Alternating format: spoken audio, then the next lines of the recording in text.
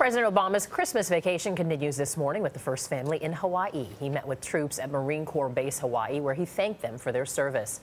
Chip Reid is traveling with the president in Honolulu during a key time in the Afghanistan mission. Chip, good morning.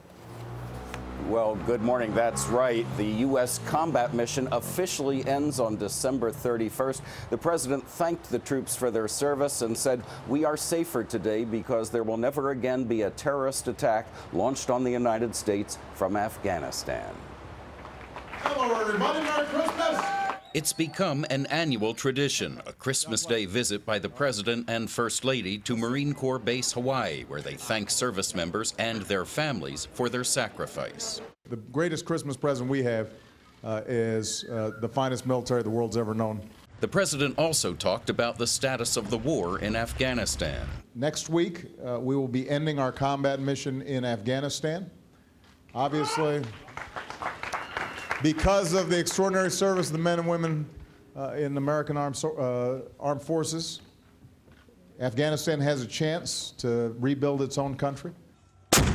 But the end of the combat mission does not mean the end of the war. From a peak of about 100,000 U.S. troops in Afghanistan, there are now about 10,600, and it will be two years before they all come home. Until then, U.S. forces will continue to be in harm's way, advising and assisting Afghan troops and engaging in counterterrorism operations.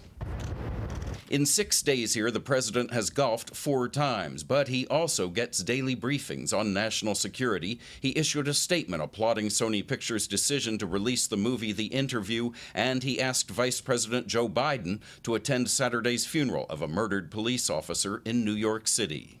He mixed business and pleasure in a round of golf with the Prime Minister of Malaysia, who is also vacationing in Hawaii. Clearly in an upbeat mood, Mr. Obama had some playful advice for the press. Uh, be careful about those uh, fruity drinks. Well, the camera didn't catch the last part of that statement. The president said, watch out for those fruity drinks. You never know. They may have a little kick in them. Anthony and Vinita, apparently he cares about us more than we realized. you know, Chip, while we have you in Hawaii, we want to ask you about the other headline that we've seen, that there's been some blizzard warnings in that area. Well, maybe not exactly this area. On the big island of Hawaii, about 200 miles away from here at 11,000 feet, there are some blizzard warnings. But here in Oahu, it's been averaging about 75 degrees, and the only sign of a white Christmas is the sand on that beach. Uh, you're making us all a bit jealous, Chip. Thank you so much.